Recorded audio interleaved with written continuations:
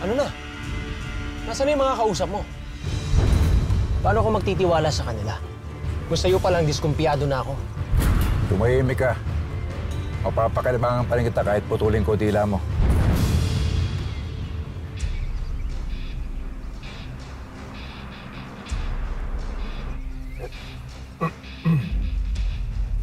Andiyan na sila.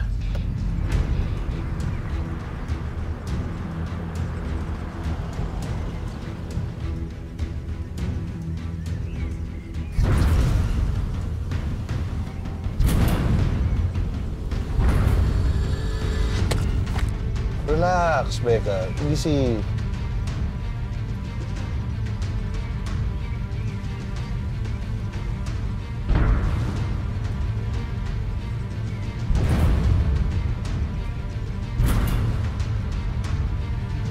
Sana lang hindi ko pagsisihan ang plano mo.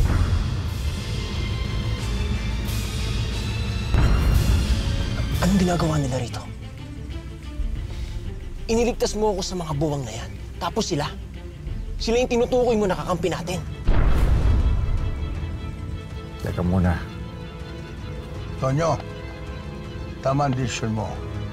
Mas gusto mo kong kakampi kaysa kalaban.